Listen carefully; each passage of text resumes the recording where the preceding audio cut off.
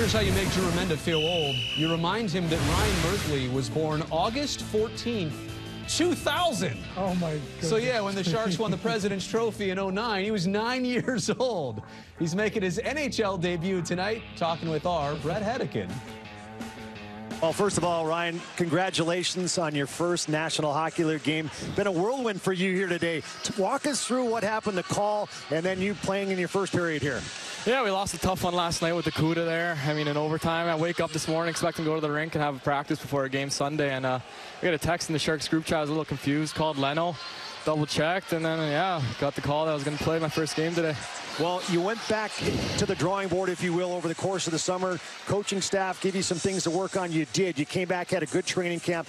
What types of things did you want to come into this season and then apply, obviously, to your first period here in the National Hockey League? Uh, I thought last year I got a little out of shape there, staying in the hotel in Arizona during uh, our 70-day stint there. But uh, just coming back in shape, putting on a few pounds of muscle, and just come back stronger and ready to go.